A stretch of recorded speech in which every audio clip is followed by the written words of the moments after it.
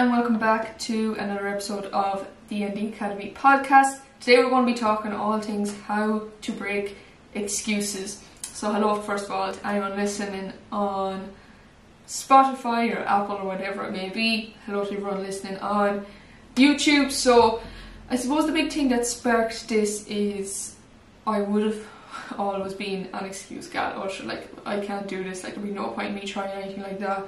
Um, you know, always kind of sparking these up and I suppose since just really doing the work on myself over COVID and over the last kind of two to three years, it's kind of like I've just completely switched my mindset on it. So what I want to do now is try help as many people as I can with what I've learned so far um, and hopefully it'll kind of help you then kind of overcome these barriers, bar barriers and start getting to where you want to be. So first things first and first thing I want to say is whatever you're not changing, you're choosing. And this can be a very tough pill to swallow. And if anybody said that to me Tasha four years ago I probably would have punched them straight in the face. But just something to keep in mind because like this is a good thing because then the only person responsible for your actions are you. So that means you can actually do something about it.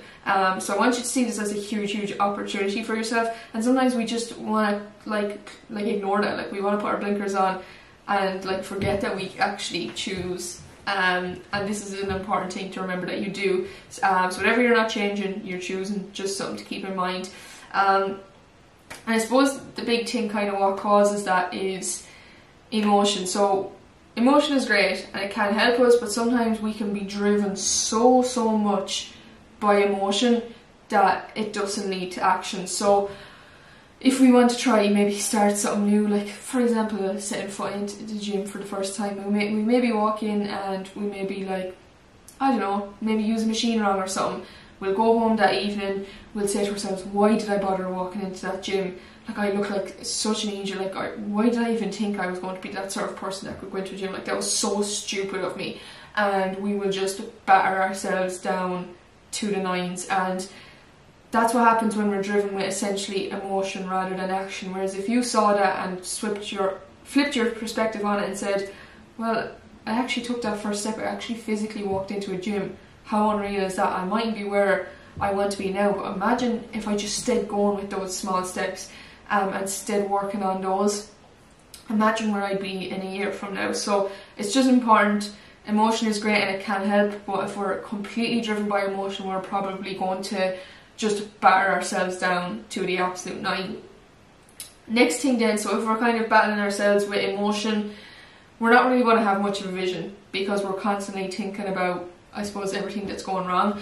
And it is very very important to have a vision because like that if you're just setting foot into the gym and you're not really like sure what your vision is like in a year from now with the gym like where you want to be do you want to be a person that's like you know really really into it might maybe getting into a certain specific type of training or is there something you're working towards or is it the case that you just like want to get comfortable walking into a gym doing your workout enjoying it heading home again not having to worry about feeling you know uncomfortable walking in like figure out what your actual vision is because it's the build up of you doing this each and every time um, that's going to get you to where you want to be. And like that if you've no vision if you're not clear on like where you want to go with this and where it's actually going and why you're putting yourself into these uncomfortable situations it's a very very hard thing to keep going with so big thing to ask yourself is like where you want to see yourself in 12 months from now and just getting clear with your vision on it. And this doesn't have to be as specific as you possibly can. This can be something just so simple of I just want to, to move in the direction where I just feel comfortable going the gym. Like I hope in 12 months time if I keep this going consistently it, it is going to get me to to where I want to be. So do really start thinking about visions it's the same with like a dieting phase. It's the same with career choices. Like have some form of a vision where you're going because it's going to help you stay clear on what you're kind of you know, putting yourself in these uncomfortable positions that are eventually going to become comfortable and you realise that they're they're all actually going to, to pay off. And the next thing that comes with that is doing things with intention. So essentially what we can do is we can live life and the best way to describe this is we're on a boat and we're just letting the boat take us to to where we want to be. We're, we're not taking control, we're not taking any direction, and we're just like, oh, like how did I end up here? Why did I end up here? And it's because we didn't grab the oars and actually take control of where we want to go in the direction we want to go. On. And it's like as well hopping in a car and just driving and having no clear direction, no vision in where you actually want to go. And do you know, like what does that actually do for us? What, how does that even help us? So anything you're doing, you're doing with in- intention because it's the build up of doing things over time that's going to get you to where you want to be rather than doing it once. Like going into the gym once isn't going to change feck all, but if you go in with the intention of, yeah, me doing this session and you know, putting my all into it. If I can do this collectively in a year from now, imagine where I'm going to be. And then you're, you're going in with that intention rather than, oh, another gym session. And like the weeks are just kind of flying by into the gym, out, into the gym, out. We're not doing anything with any form of intention. And it's important to keep intention with every single thing that you're doing. It's like, for example, maybe you're in a job that you don't really enjoy or you don't see yourself in long term and that's another thing to think about is like do you want to be in that same job 12 months from now? And there's nothing wrong with doing it now um, but doing it with the intention of I know if I just do stay in this job for now I'm eventually going to to get to where I want to be. So I'm doing it with intention because I know maybe I'm no longer going to be here or maybe you're going for a, like promotion or whatever it may be. So it's like me for example when I was in my old job like I knew in my heart and soul I did not want to be there um, for life like that. I just knew in my heart and soul that wasn't for me. But I went in with the intention of knowing that I was going to get to where I want to be. And how I done that was I was doing my courses on the side. So I was going into work with the intention of this job has helped me get the money to be able to pay for my courses.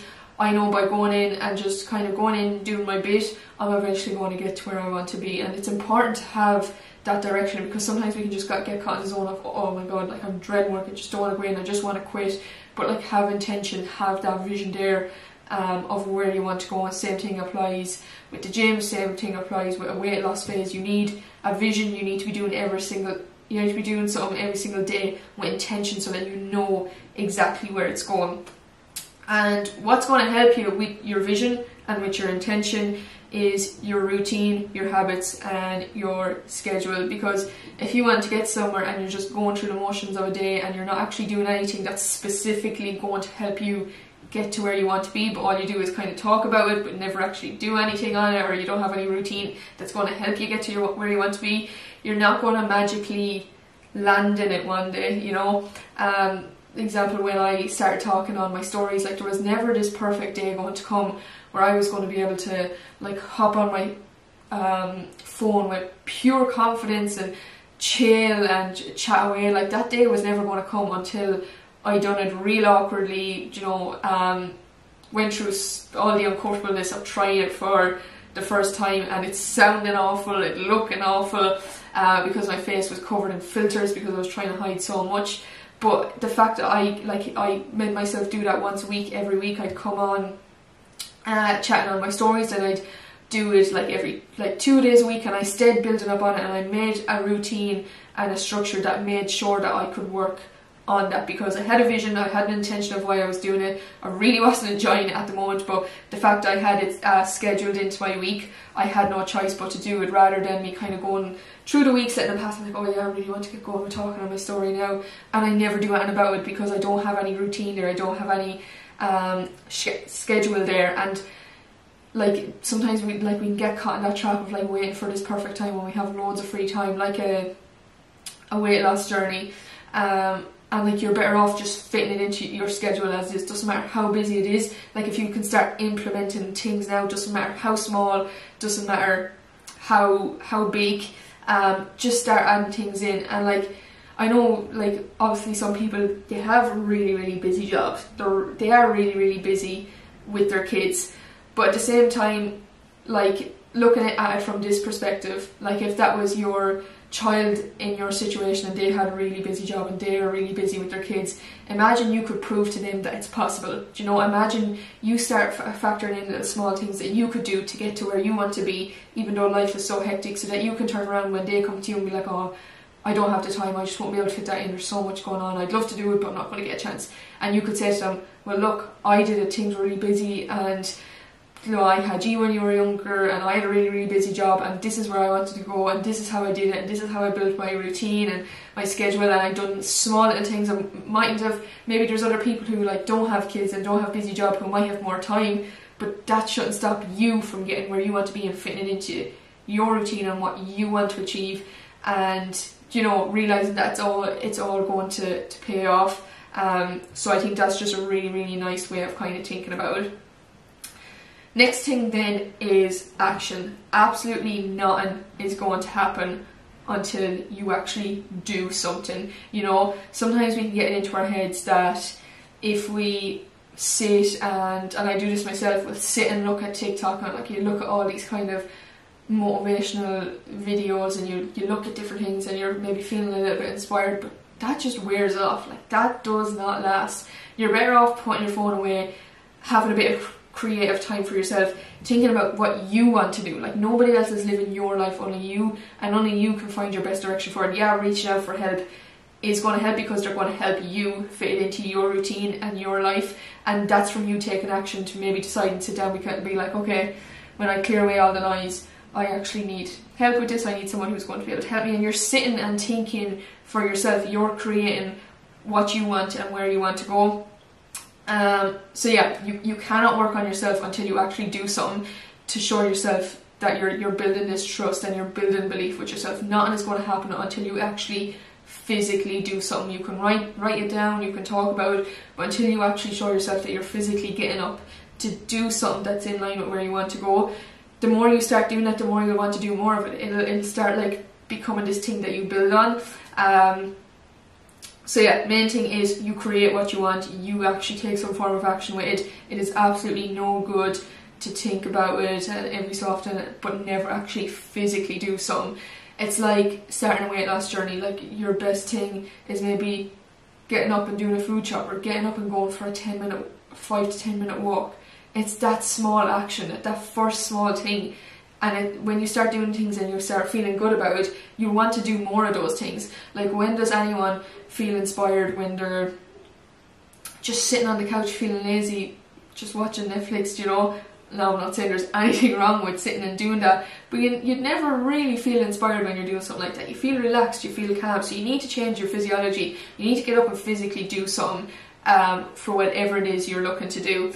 Um, because same thing as well, like when we look at watching Netflix or or when we look at going on our phone, it's usually a distraction, you know, it's usually a distraction from everyday life. Usually when we're feeling like insecure and down, it's just easier to just hide away and just like stay scrolling, scrolling, scrolling. So we never feel like we're in a position to go and achieve something if we're kind of just stuck in that position where our shoulders down, crouched down, just scrolling away on a phone. And it's important, like you can talk about anything all day long, but until you actually physically get up and build that trust with yourself, you will never get anywhere. So, yeah, that's just something to think about. Kind of, if I was kind of summarize it up in a few steps.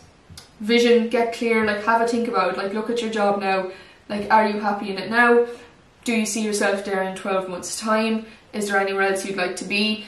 Um, maybe you're happy there and that's absolutely fine. Look at yourself, your body, your mental health. Do you want those to be in the same position 12 months from now? Because they're not going to change unless you physically do something. From there, then, of course, it is hard to kind of do things like if it is, say, weight loss and getting used to going to the gym and stuff.